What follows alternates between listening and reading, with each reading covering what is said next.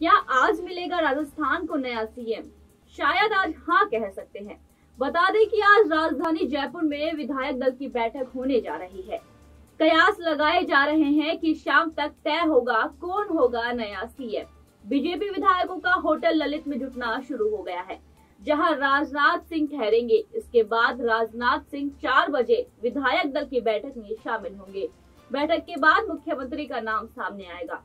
साथ ही तीनों पर्यवेक्षक रक्षा मंत्री राजनाथ सिंह और बीजेपी राष्ट्रीय महासचिव विनोद तावड़े राज्यसभा सदस्य सरोज भी आज जयपुर पहुँच चुके हैं।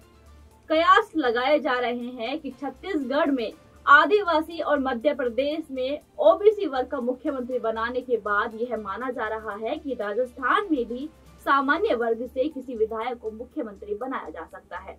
अब देखते हैं राजस्थान में आज किसकी ख्वाहिश पूरी होती है। बता दें कि होटल ललित में पार्टी के पदाधिकारी और विधायकों का एक दूसरे से मुलाकात होगी। वहीं विधायक की पूरी जो बैठक है, उसकी पूरी तैयारियाँ हो चुकी है। विधायक दल की बैठक और उसके कुछ मिनट बाद राजस्थान का मुख्यमंत्री चेहरा सबके सामने होगा।